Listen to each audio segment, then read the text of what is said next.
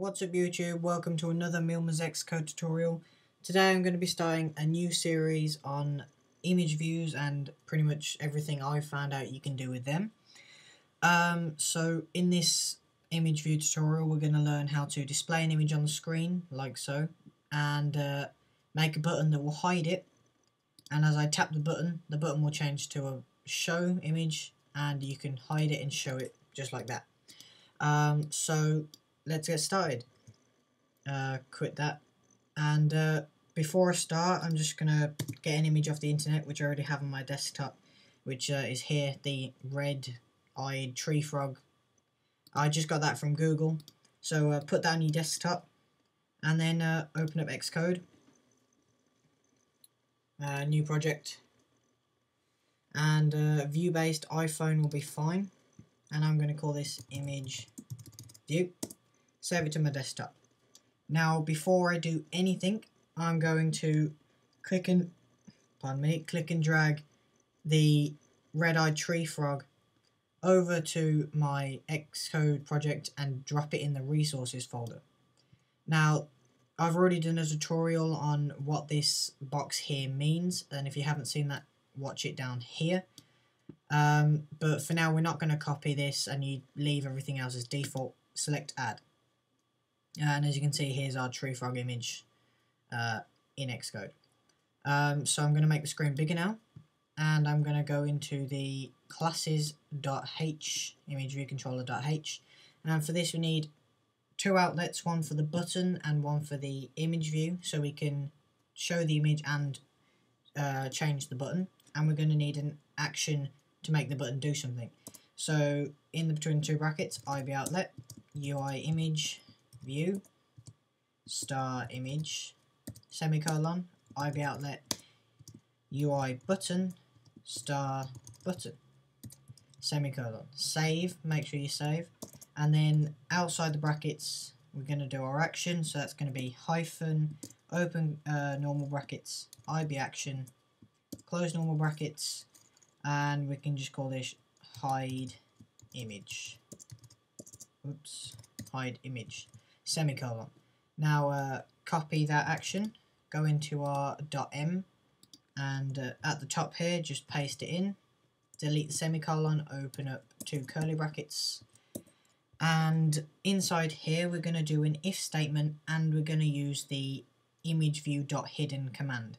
Now it's kind of hard to explain so I might as well just show you. So first of all we're going to do if and it should autocomplete and then we're going to go image view dot hidden. Oh wait no. Sorry. We didn't call it image view we called it image. So uh, yeah. So image dot hidden is equal to no. So if it's not hidden if it's actually there then do so and the statements bit go image dot hidden space equals space yes. So basically what's that doing is it's, it's checking if the image is hidden. If it isn't, then hide it. And also we're going to add in the code to change our button's text. So under that, go enter open square bracket, bracket button, set title, and it should auto-complete. And on the first one, go open at open quota quotation marks and type in what you want your button to say. So this is going to be um, hide, oh wait, no, show image, sorry, because if it's hidden, we're going to want to show it. And this UI control state normal, uh, sorry, UI control state thing, we can change that to UI control state normal. Semi, uh, no, open, close square brackets, semicolon. Um, and then just at the end of this if bracket here, so the end of the if bracket, not the end of the action, the end of the if bracket, go space and we'll do an else command. Now as you can see it's automatically completed for us, but we don't want that, we're going to go else if.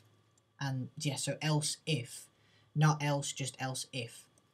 Uh, and that should auto complete, so hit enter again. And we're going to check if the image, uh, image, damn it, image dot hidden is equal to double equals means is equal to if you didn't know um, yes so if it is hidden then show it. So image dot hidden space space. No. And like before we're gonna do the action for the button. So copy the other one paste it in here and change it from show image to hide image and that can stay the same. So that save that and that's all we need to do in Xcode for now. So go to your view viewcontroller.nib open that up and we need our button and image view so go into the library find the button drag that in and that can just go there, that'll be fine. And find our image view, and that can be dragged in here. Now I've got a little tip for you guys on how to make sure your image doesn't get distorted with the image view, and I'll show you that in a minute. So uh, first of all we need to make our button. So double click on the button and go hide image, and uh, we'll connect that in a minute. So now go to your image view, and to set it to your image, select it, go to the uh, attributes tab and then find on the first one it should say image click down the drop down arrow find your image which for me is the tree frog. So I'll select that and as you can see our image has appeared. Now to make this image a little less distorted if you highlight it and go command equals you can see the image now resizes and it is quite a big image uh, so resizes to its actual size now for this project, I don't want it this big, so I'm going to undo that and uh, just make it bigger myself. But say if you've got a smaller image, that command equals can be used to make sure your image doesn't get distorted. Um, so yep, now we need to go into our files owner and connect them up. So go to your document window, select files owner, second tab, and drag button to button, image to image, and hide image to the button, and select touch up inside. And save interface builder, interface builder quit, and uh, build and run. So here's the simulator opening up, and as you can see there's our image, and uh, if we select the button, it disappears the uh, image, it's gone, and as you can see our button's text has changed to show image, and if we click it again, the image comes back, and it says hide image. So um, there you go guys, just a quick tutorial on image views, just so you know how to show them on the screen and uh, get rid of them when you want to.